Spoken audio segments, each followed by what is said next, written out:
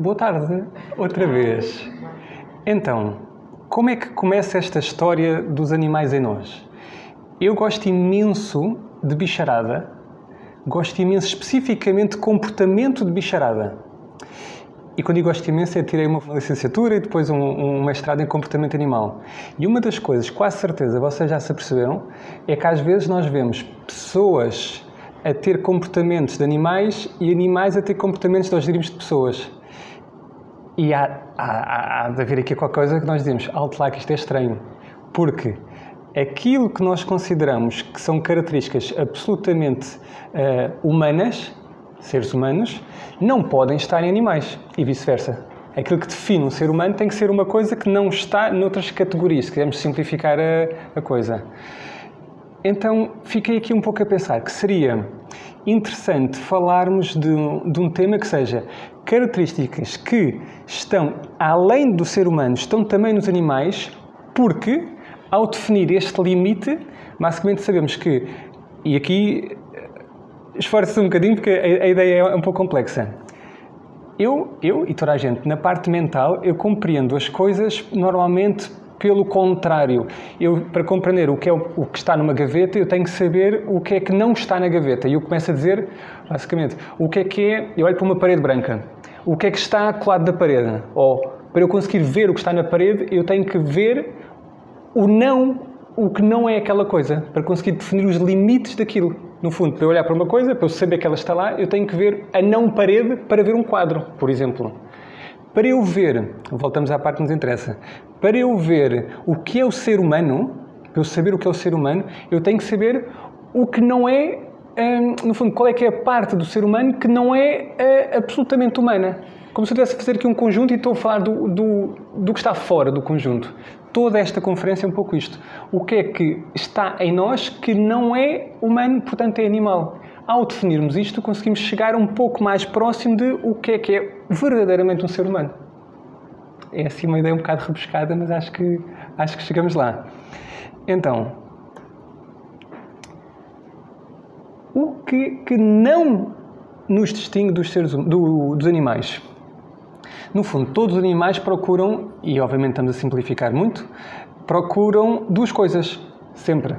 Procuram sobreviver tempo suficiente para se poderem reproduzir. Toda a gente, toda a gente quando diga a bicharada toda faz isto. Não, ninguém, ninguém é muito original neste aspecto. Hum, agora, a parte original aqui é mais qual, com que características, que, que, comportamentos, que coisas mais únicas é que estes animais fazem hum, que lhes dá uma vantagem sobre os outros animais ou não. Quando estamos a falar de sobrevivência, por exemplo, estamos a falar de evitar uns predadores, uh, manterem-se manterem -se vivos dentro do seu, do seu ambiente, leia-se, têm que, têm que recolher recursos, têm que ter comida, água, abrigo, as coisas básicas, eh, têm que ter um território. Muitas vezes um animal defende um território, como quem diz, o que está dentro destas fronteiras é meu, eu defendo, eu posso usar, posso retirar benefício disto, e o que está fora, outros defendem. No fundo, o território é um conceito mental, que é uma coisa de eu defendo aquilo, defendo uma área e logo isto é o meu território, porque eu defendo. Se eu não defender, não é o meu território. Isto é uma perspectiva muito da, da biologia, da bicharada. Uh, a adaptação ao ambiente, os animais muitas vezes têm que estão num, estão num ambiente onde chove muito, não podem estar todos a viver debaixo do chão ou ao pé do chão, têm que subir às árvores, têm que ter capacidades mais adaptativas. Tu dizes que estamos aqui a ver, isto não são coisas únicas uh, nem do ser humano nem dos animais, claramente todos fazemos isto. Interações sociais, quando são espécies sociais, existem muitos, um exemplo rápido, eu pego uma formiga, que é um ser altamente social, eu pego na formiga, eu ponho-a longe do formigueiro, a formiga vai morrer. Não tem qualquer capacidade de não, não estar ligada ao formigueiro e manter-se viva. Não consegue, não é?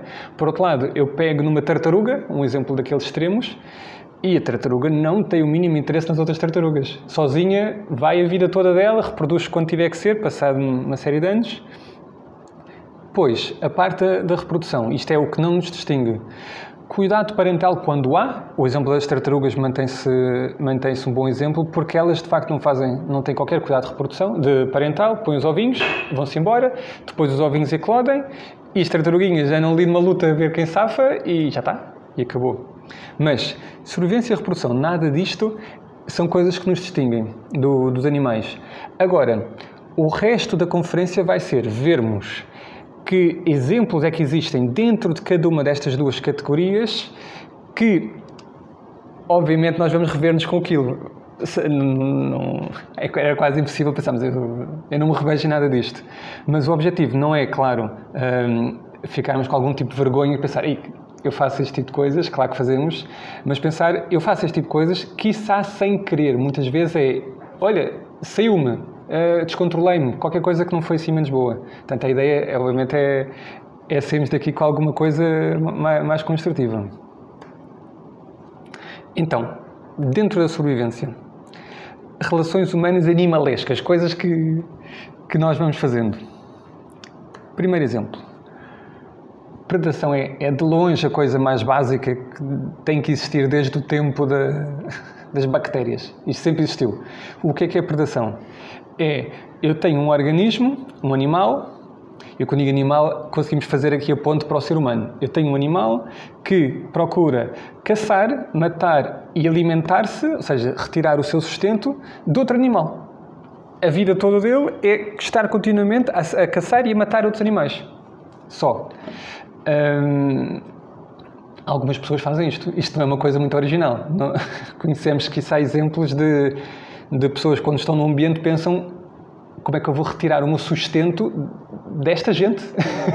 estão, estão a ver um, presas, não estou a ver outros seres humanos, não é? Se existe a predação, que existe, uh, também no reino humano, há que ter consciência que estratégias é que nós fazemos para evitá-la, que também são animalescas. Portanto, estamos só a falar de exemplos assim muito um bocado animalescos, mas estratégias que fazemos para evitar a predação. Exemplos. Camuflagem é um conceito que não é muito vá, não, não é um conceito assim biológico, técnico assim limitado de todo, porque há muitas coisas que calham dentro da, da camuflagem. Mas assim, de forma geral, camuflagem é eu por um lado quero hum, quero evitar o meu predador, ou por outro lado eu sou o predador e quero evitar que a minha presa me consiga detectar e fugir. São os dois. Resume-se resume a isto. Há muitos tipos de camuflagem e normalmente, uh, pelo menos pegando este exemplo que está aqui em cima, olhamos para aqui zebras e pensamos, então, mas as zebras, uma zebra, imagina uma zebra sozinha no meio de uma planície africana é uma coisa que se vê, é preto e branco, é impossível não ver uma zebra. Mas uma zebra no meio de uma manada de 100 mil zebras, aquela zebra não se vê não é? Está no meio delas todas. Se olhamos para aqui, imaginem que vocês são um leão, e o leão é um bom exemplo, porque os leões não têm uma capacidade de ver as cores boa, eh, então não distinguem muito bem, veem, quase o fundo da, da planície da mesma cor que vê uma zebra e vê um grupo de zebras andar de um lado para o outro, é difícil para um, leão chegar ali e dizer aquela ali é boa, é mais fraquinha, seja o que, seja o que for. Então, um exemplo mais humano. Camuflagem é tudo o que me faça querer desaparecer no meu ambiente, não querer chamar a atenção. E muitas vezes entramos em, em, em cenários onde pensamos, eu quero, eu quero esconder-me dentro deste, deste ambiente, quero que não repare em mim. Muitas vezes as cores que, que usamos, não vamos usar um, um, grande laço na cabeça se eu não quero que repare em mim. Então eu vou, vou usar as cores mais neutras, os cinzentos, os brancos, um, o comportamento também vai ser assim tudo para, para me conseguir eh, quase fazer-me desaparecer no meio do ambiente. Depois fica ali, quase paradinho à espera que ninguém repare. Camuflagem é isto. Serve para o ataque, entre aspas, para o predador, mas também serve para, para as presas. Então, ter um pouco consciência muitas vezes estamos num, num ambiente onde nos sentimos desconfortáveis e a nossa primeira reação é ficar assim parado à espera que, que o perigo passe. Outro exemplo. Ah, não, isto é dentro do reino animal. Estão aqui quatro exemplos que são fantásticos e ilustram muito bem o tipo diferente de camuflagem que há. E eu acho que nós conseguimos rever-nos, infelizmente, com os que aqui estão. O primeiro todo, superior esquerdo, isto é uma lagarta que parece um cocó de pássaro. Então, a lagarta, o que é que, entre aspas, foi pensando ao longo da sua história de de evolução de milhões de anos. Eu quero me assemelhar àquilo que o pássaro menos quer comer.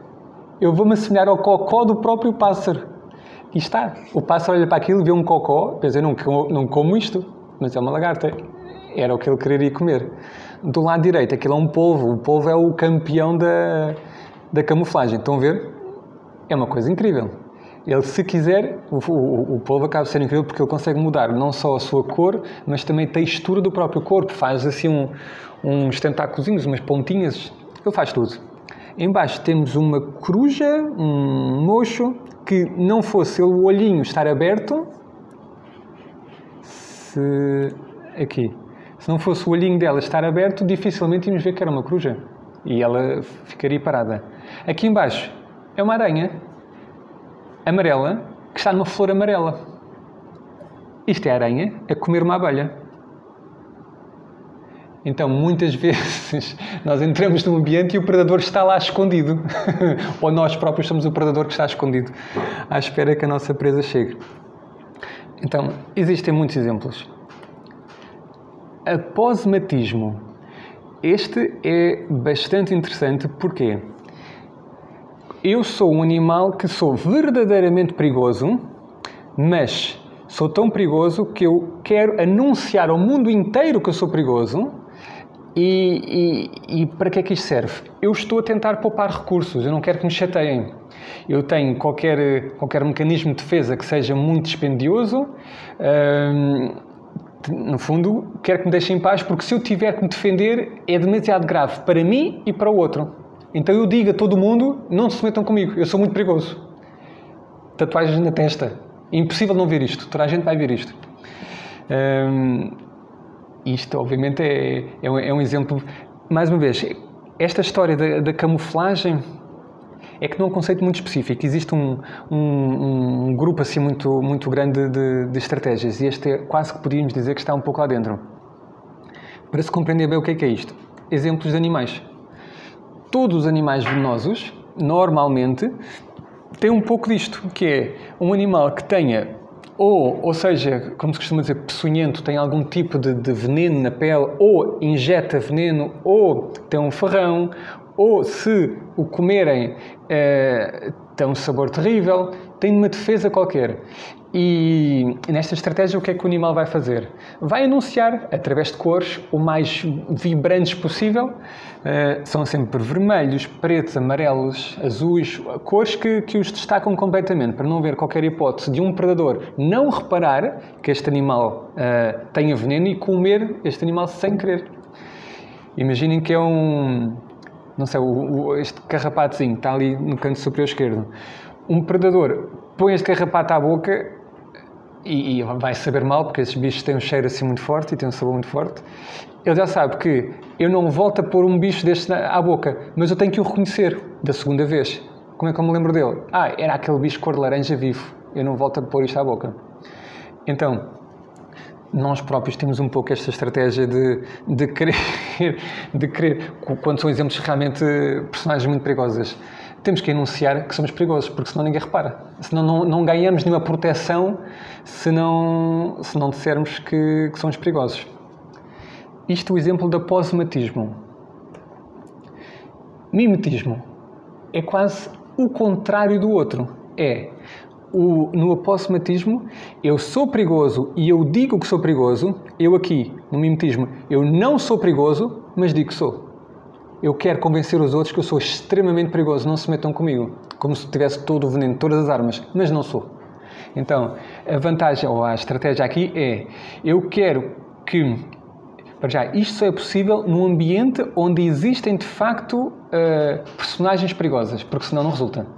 Eu quero que o meu predador me confunda com aquilo do qual eu tenho medo. Eu tenho medo de, de Pessoas com, com tatuagens. Eu próprio ponho tatuagens. Eu protejo-me dessa forma. Assim, os meus predadores vão olhar para mim, vão pensar: este é um daqueles perigosos. Não sou. Eu simplesmente pus tatuagens para parecer eh, que sou um daqueles perigosos.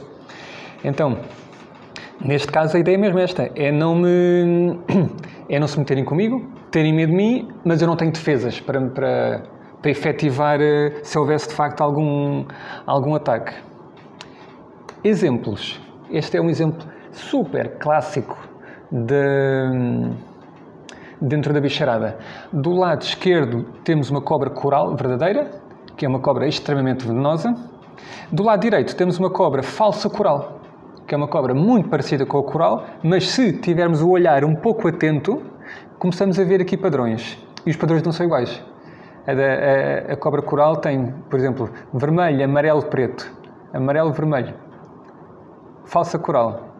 Vermelho, preto, amarelo, preto, vermelho. Não são a mesma coisa. Só que na hora de, de vermos um bicho destes na selva, é difícil paremos para olhar e. Ih, qual é esta? É, ver preto, como é que eu me lembrava? O que é que é isto? Não. Eu vou fugir, porque eu penso, isto é venenoso, tem as cores de ser venenoso, tem, os sinais todos, o comportamento, é venenoso. Eu fujo. Não, não era. Não era uma cobra venenosa. No fundo, ela funciona hum, de uma forma que ela, ela vai confiar que o predador dela hum, não consiga distingui-la. Não consiga ver os sinais, não consiga ler o seu comportamento. Só assim é que isto resulta.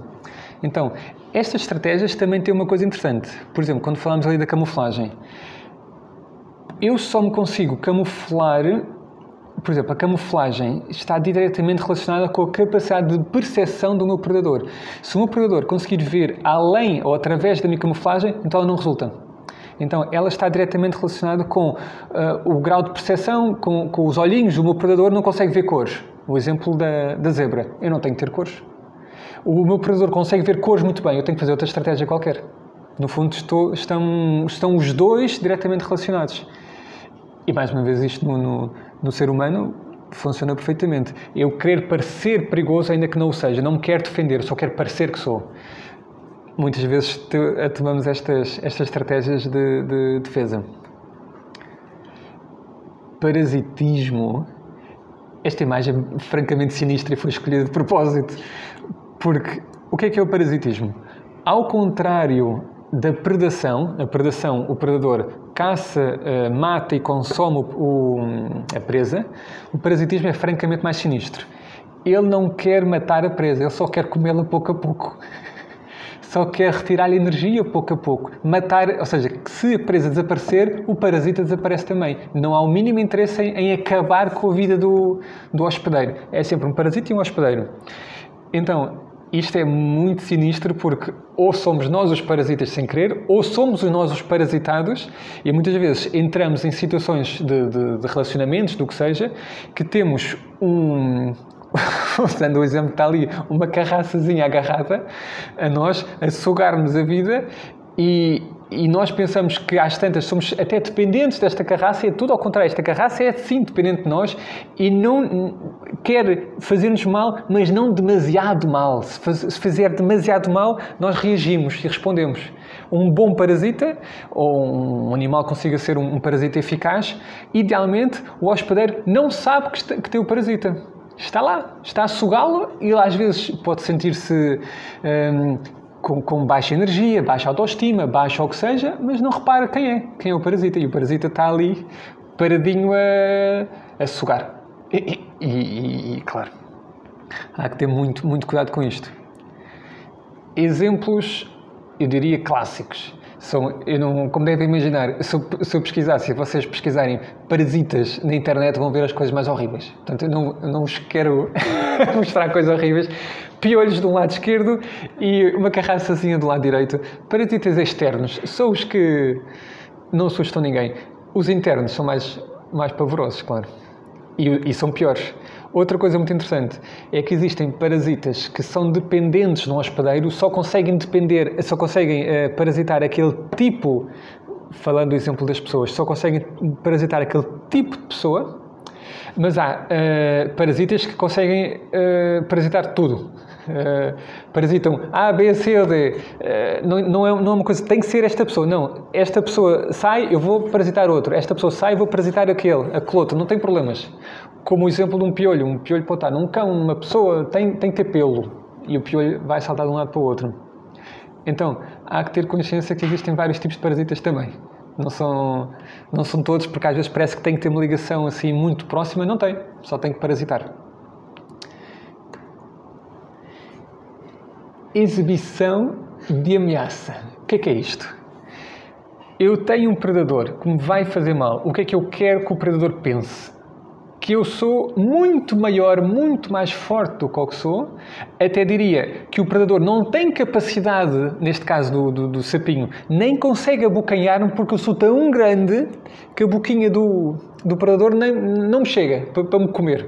Sou muito grande, muito forte, muito, muito assustador. Então, toda a ideia de eu quero, novamente, é um pouco a estratégia de há pouco, mas esta tem a ver com. Tem, tem que haver uma demonstração visual, eu tenho que parecer grande e poderoso. O que é que é interessante aqui? É que isto é uma resposta que surge para me defender de algo. Existe uma ameaça, real ou não, e o que é que eu vou fazer? Vou inchar tanto que de repente eu sinto-me seguro perante esta ameaça.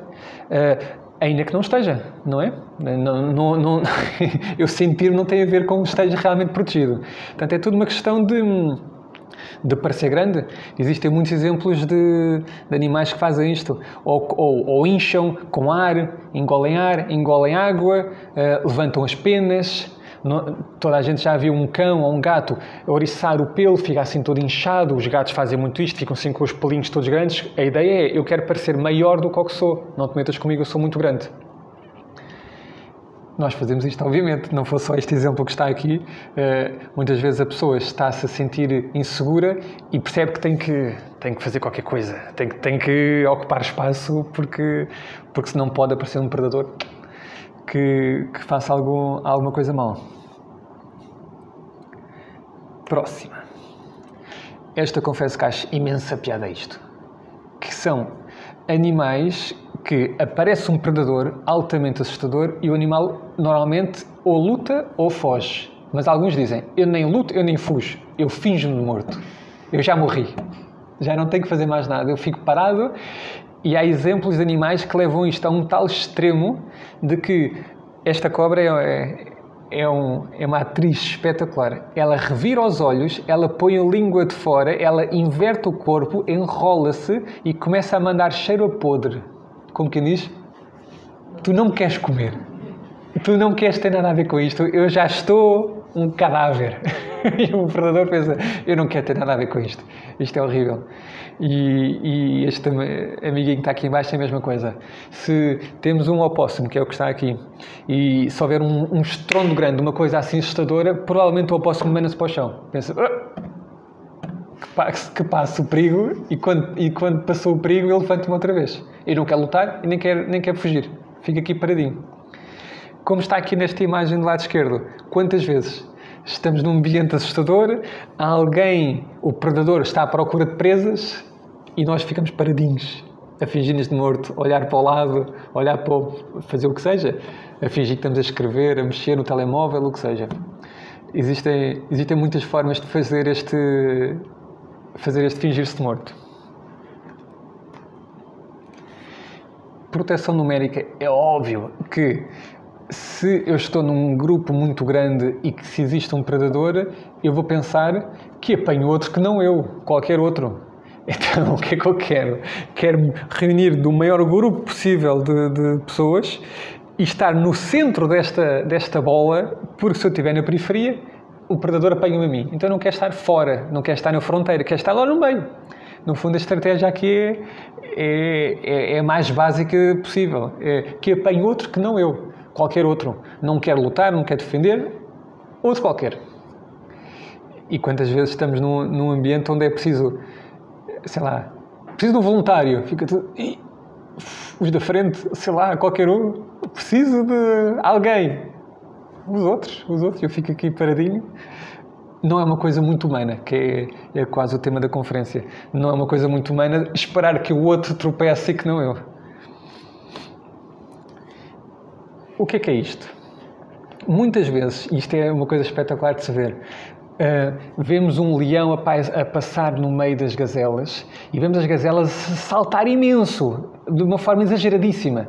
O, qual é que é a estratégia aqui? Eu quero transmitir que eu tenho força, velocidade, agilidade. No fundo, estou a transmitir ao meu predador: não te metas comigo que vai dar muito trabalho, porque eu defendo-me defendo-me ou fujo, ou que seja, estou em boa forma física, tenho saúde, tenho o que seja. Se for preciso uh, fazer alguma coisa, eu, eu faço. A estratégia é um bocado esta. E, e claro, nós próprios muitas vezes também, também exibimos o que, o que seja, neste caso estamos a falar mais características físicas, também exibimos muito das nossas conquistas físicas, não queremos simplesmente passar despercebidos se tivermos a investir tanto, tanto nisso. Isto eram os exemplos que eu tinha de sobrevivência. Exemplos dedicados à reprodução, que há imensos, não é? No fundo, estamos aqui a ver as coisas que, que seres humanos e animais, para bem ou para mal, vão, vão fazendo. Reprodução. Obviamente que eu quero que reparem em, em, mim se eu me quero reproduzir e para reparar em mim tem que haver algo, não é? Não posso é quase o contrário da camuflagem. Não quero desaparecer na paisagem. Eu quero destacar-me absolutamente no meio da paisagem. Por isso isto é uma coisa também um pouco, um pouco arriscada para se fazer. Mas usar cores intensas da mesma forma que, que existem cores hum, que normalmente estão associadas a animais venenosos, tal vermelho, preto, amarelo, também existem cores que são usadas só porque chamam a atenção. Hum, que são muito usadas para transmitir uh, uh, força física, saúde.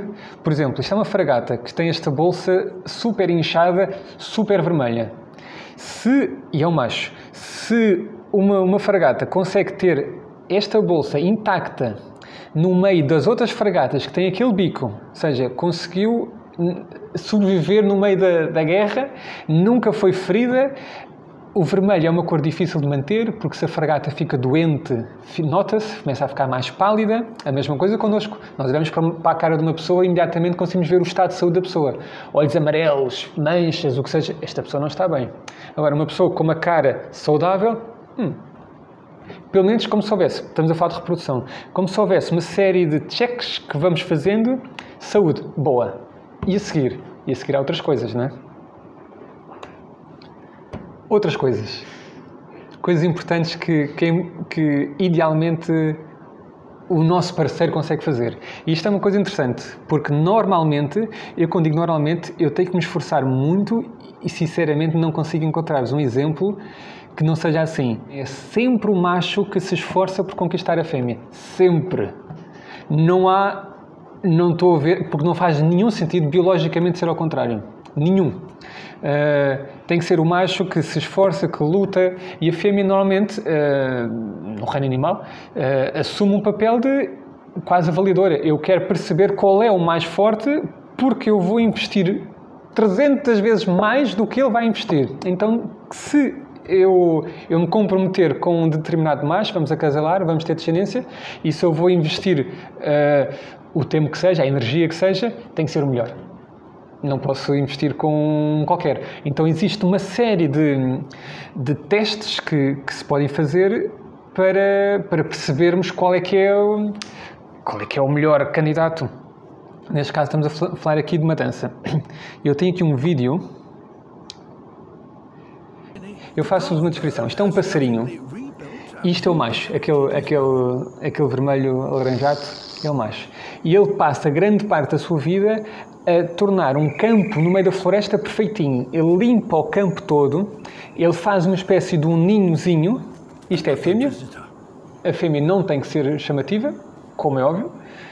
Os machos são sempre os mais chamativos e a fêmea está aqui para avaliar o trabalho que ele esteve a fazer. Ele fez isto, ele construiu isto para a fêmea se colocar ali no meio e ele agora não só teve o trabalho de fazer isto, Agora vai dançar. Não, desculpa, antes de dançar, faz isto que está a fazer com os olhos. Conseguem ver a pupila aumentar e diminuir? Então, a fêmea claramente gosta disto. Senão, senão ele não estava a fazer isto. Oh, Vejam lá. Pronto, a fêmea está aqui a avaliar. Ok, mexe os olhos. E mais? Porque isto não chega. Chega aqui e pensa, ok, e agora? E agora ele tem que dançar. Faz aqui uns sonzinhos que não se está a ouvir, assim uns sons muito estranhos, parece quase robóticos. E, e, e vai dançar, claro.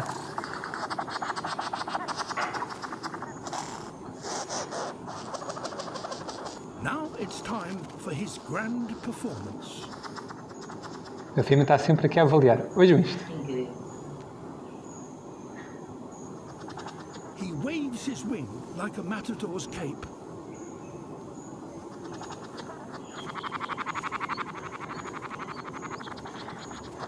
O que é que está aqui a acontecer? Tenho controlo suficiente para fazer isto à frente de uma fêmea, que é difícil. Controle físico, consigo mexer a minha asinha devagarinho e muito rápido. Tenho controlo para. e tenho saúde, tenho energia para fazer isto. Para isto. E a fêmea ali a olhar. Isto é só para a fêmea. Certainly eye-catching, but it seems he needs to do more. Depois há aqui uma parte engraçada. Que a fêmea fica assim a olhar e pensa: e quê? E mais? Então, põe-lhe aquele frutinho, aquele mirtilozinho, à frente, como quem diz: e mais? Já chega disto. Então ele pega no mirtilozinho e agora? Agora está melhor ainda. It's the bird equivalent of a bouquet of flowers. Ele dança com o mirtilo.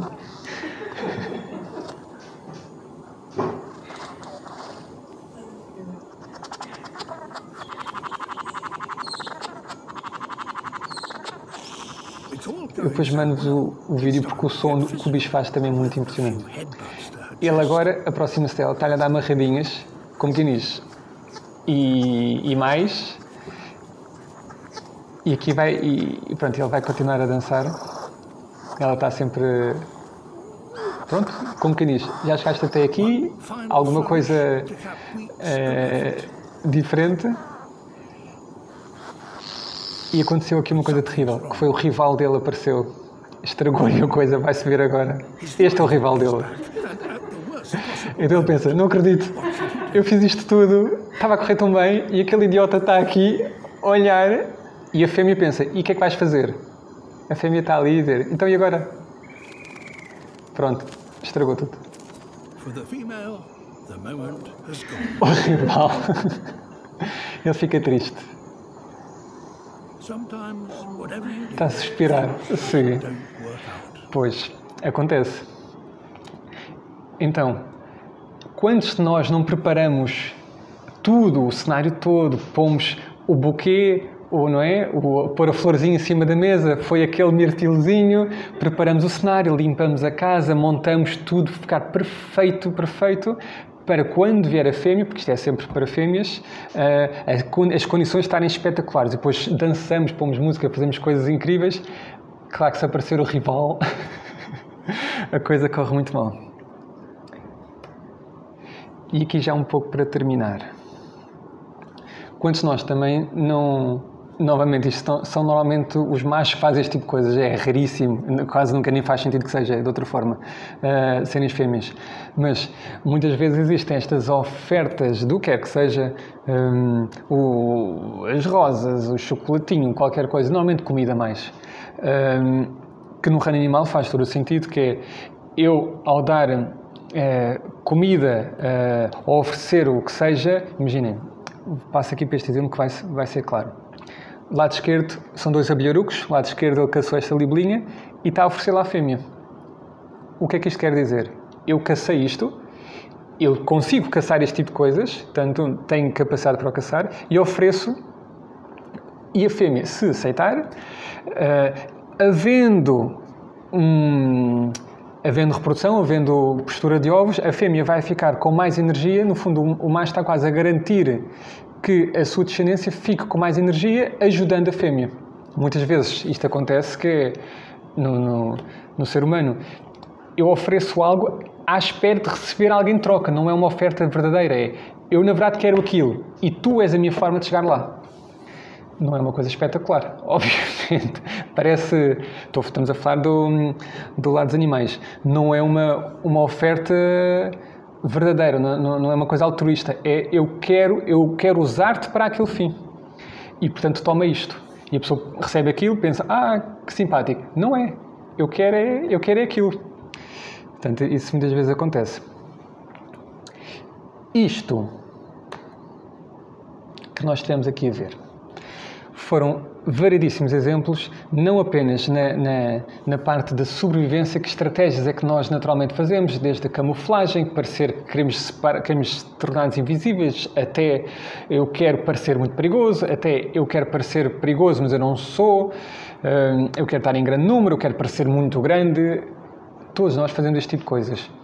Mas fica aqui um pouco a dúvida que é, este é quase o limite que podemos traçar que define o que é que não é humano. Então resta a questão, o que é que é humano? Claro. É francamente fácil responder por um lado, por outro lado é extremamente difícil, é uma coisa de uma vida inteira. Mas quando falamos do que é que é um ser humano, um ser humano, e vemos isto nas culturas todas, é sempre colocado entre um mundo hum, fala-se na, parte religiosa o mundo profano, o mundo material, o mundo das aparências. Ele está entre este mundo e o mundo celeste, o mundo ideal, o mundo arquetípico. O ser humano está sempre aqui no meio. E o que é que é absolutamente humano? É algo que. Ou o que é que define um ser humano? É a capacidade de trabalhar no invisível, de considerar, ou vá, de se aproximar de, de ideais, de arquétipos, de conseguir captar ideias e conseguir trazê-las à matéria este exemplo que está aqui, um, um animal, e quando falamos em, em, em, inteligência, por exemplo, os animais são extremamente inteligentes, são, capa são capazes de resolver puzzles, coisas que nós próprios não conseguimos. Existem exemplos muito bons disso, normalmente em grandes símios, em chimpanzés, coisas que eles, por exemplo, conseguem fazer que nós não conseguimos fazer. Um, mas eles não trabalham desta forma, não, não conseguimos ter um animal um, sozinho, assim, a, a ter um, um êxtase criativo e pensar, já sei como é que vai ser a minha próxima sinfonia. Consegue captar todos os sons ao mesmo tempo e, no fundo, o que é que ele está a fazer? Está a elevar a sua consciência até um plano superior um, e depois, através dessa, deste canal que é ele próprio, cabe ser a sua mente, ele consegue trazê-lo cá abaixo, consegue construir assim. No fundo, o ser humano é aquele que eleva a sua consciência com a sua vontade simplificando um pouco. Um animal hum, faz tudo aquilo que nós vimos aqui, tem todo o tipo de estratégias, hum, tem. Bem, tem N formas de resolver puzzles, de, de, tirar proveito de uma situação, mas não faz isto. Não trabalha com conceitos abstratos, não usa símbolos. Outra ideia muito boa: um ser humano é, é, algo, é alguém que olha para um, um círculo vermelho e uma barra branca e diz: uh, sentido proibido, não, não vou por aqui. Um animal não vê isso. Um animal via, veria apenas e unicamente um círculo vermelho com uma barra branca. Não consegue ler, não consegue usar um símbolo como uma ponte para algo. Simplesmente vê o que lá está. E vê muito bem e, e, e, e trabalha com isso. Mas falta esta ligação com o invisível, que acaba por ser aquilo que, que nos distingue. Então, porquê é que, porquê é que eu acho que isto é importante? Isso que estamos aqui a falar quando falamos de, de um dos trabalhos, ou um dos objetivos da filosofia, no geral, passa muito por dar as ferramentas ao ser humano para se conseguir libertar. Libertar do quê? Das correntes que acabamos de ver. Todos os instintos, todas as coisas que, que podíamos dizer que não são propriamente humanas e, quiçá, às vezes, isto é que é o problema um pouco mais difícil de resolver, quiçá até usamos para nos definir. Eu digo, eu sou desta forma. E se pensarmos que eu sou desta forma e digo isto com orgulho, mas as bactérias já fazem isto desde há milhões e milhões de anos, então não é uma coisa muito original. Não é algo, não é uma grande conquista, não é? Eu sou assim, eu faço isto. E alguém diz isto, tu fazes isto, mas os sapos também fazem isto. É fraquinho, conseguimos mais. É mais uma, uma questão de não é, não é que se deva ignorar que este tipo de coisa existe, porque claramente não se deve e não conseguimos. É mais perceber que o que define o ser humano, as suas grandes conquistas, é muito mais do que isto e idealmente conseguimos usar isso para o nosso proveito. E quando digo nosso proveito, para o proveito de, eh, de nos construirmos, de nos realizarmos.